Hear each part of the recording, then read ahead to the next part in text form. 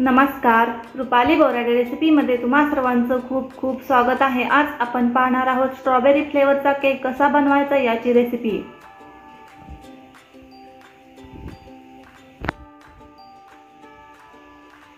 तुम्ही जर माझ्या चॅनलवरती नवीन असाल तर प्लीज चॅनलला सबस्क्राईब करा. त्याचबरोबर शेजारी बेल आयकॉनही प्रेस करा. चला तर मग रेसिपीला सुरुवात करूया. स्ट्रॉबेरी फ्लेवरचा केक बनवण्यासाठी इथे मी एक कप व्हॅनिलाचं प्रीमिक्स घेतलेलं आहे.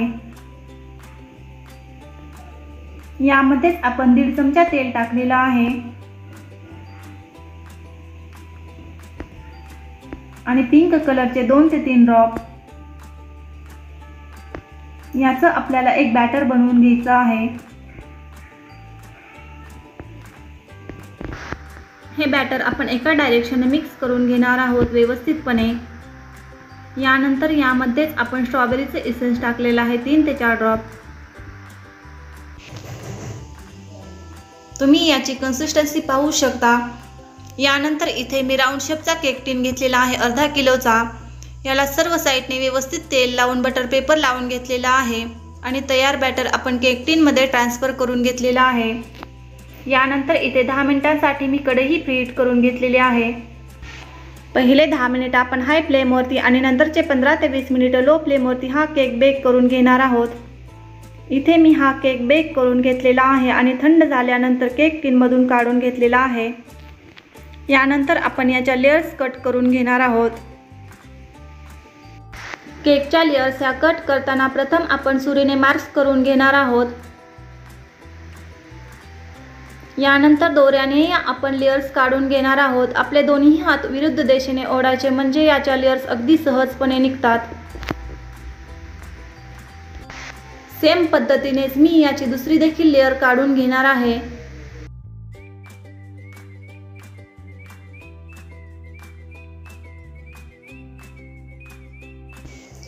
तुम्ही पाहू शकता इथे आपल्या तीनही लेअर व्यवस्थित कट करून झालेले आहेत. यानंतर आपण विपक्रीम बीट करून घेऊया.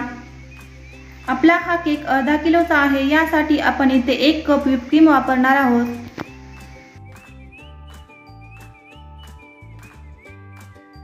जर तुम्हाला माझी स्ट्रॉबेरी फ्लेवरच्या केकची रेसिपी आवडली तर प्लीज चॅनेलला सबस्क्राईब करा लाईक करा कमेंट्स करा त्याचबरोबर शेअर करा. इथे आपण ही विपक्रीम पाच ते सहा मिनिटं बीट करून घेतलेली आहे. यानंतर आपण शुगर सिरप बनवण्यासाठी अर्धी वाटी पाणी आणि यामध्ये दोन चमचे पिठी साखर टाकलेली आहे. केकची आयसिंग करण्यासाठी इथे मी केक बोर्डवरती प्रथम थोडीशी व्हिपक्रीम लावून घेतलेली आहे आणि यानंतर पहिली लेअर आपण सर्व साईडने व्यवस्थितपणे शुगर सिरप लावून घेणार आहोत.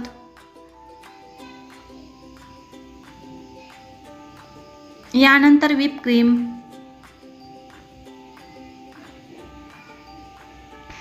पॅलेट नाईफने आपण सर्व साईडने विपक्रीम लावून घेणार आहोत.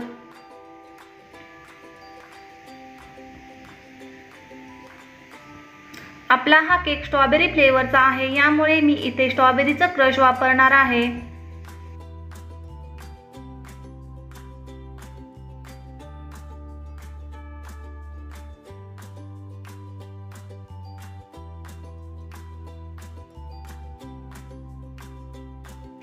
यानंतर सेकंड लेअर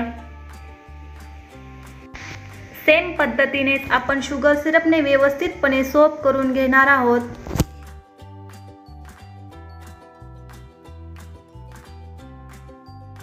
यानंतर व्हिप क्रीम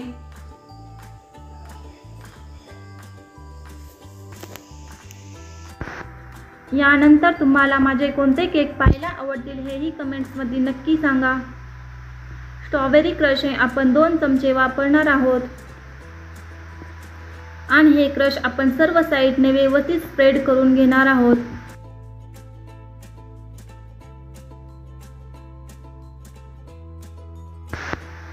इथे आपण लास्टची लेअर ठेवलेली आहे प्लेन साईडने म्हणजे आपली फिनिशिंग ही खूप मस्त येते.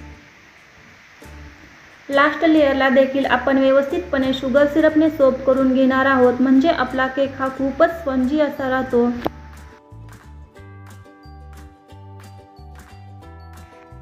आणि इथे आता आपण सर्व केक हा पूर्णपणे व्हीप क्रीमने कोट करून घेणार आहोत.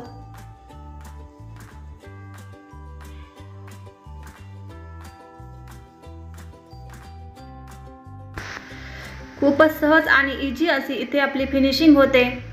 ज्यांना कोणाला केक शिकायचे आहेत त्यांनी नक्की हे व्हिडिओ पहा.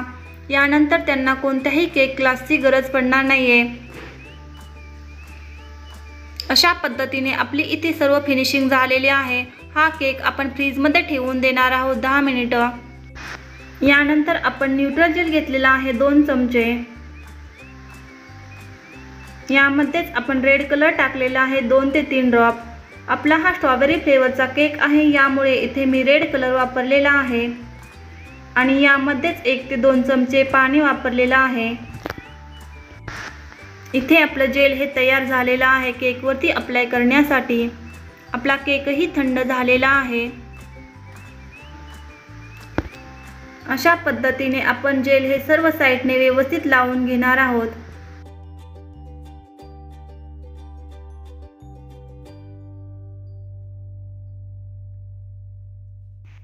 आपण केकवरती जेल हे लावताना अगदी हलक्या हाताने हे जेल स्प्रेड करून घेणार आहोत.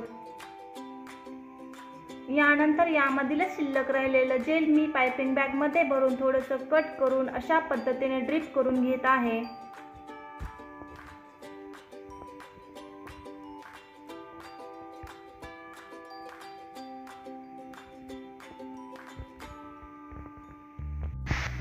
इथे आपण फ्लावर्स काढण्यासाठी शिल्लक राहिलेल्या व्हीप क्रीममध्ये दोन ते तीन ड्रॉप जांभळ्या कलरचे टाकलेले आहेत. यानंतर हा कलर व्यवस्थित असा मी मिक्स करून घेतलेला आहे. आणि हा आपण पायपिंग बॅगमध्ये भरून यानेच आपण फ्लावर्स काढून घेणार आहोत. फ्लावर्स काढण्यासाठी इथे मी नूरटेनचं नोझल वापरलेलं आहे. तुम्ही इथे डेकोरेशन हे तुमच्या पद्धतीने देखील करू शकता.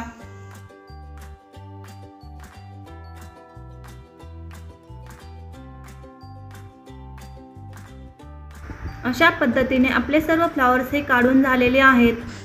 इथे मी सेम नोजलनेच खालच्या साईडने देखील बॉर्डर करून घेत आहे. खूपच मस्त आणि अट्रॅक्टिव्ह असा इथे आपला स्ट्रॉबेरी फ्लेवरचा केक हा तयार झालेला आहे. यानंतर काही शुगर बॉल देखील मी इथे लावून घेतलेले आहेत. तर आज तुम्ही वेळात वेळ काढून माझी ही रेसिपी पाहिल्याबद्दल धन्यवाद. पुन्हा भेटूया नवीन आणि छानशा रेसिपीसोबत तोपर्यंत बाय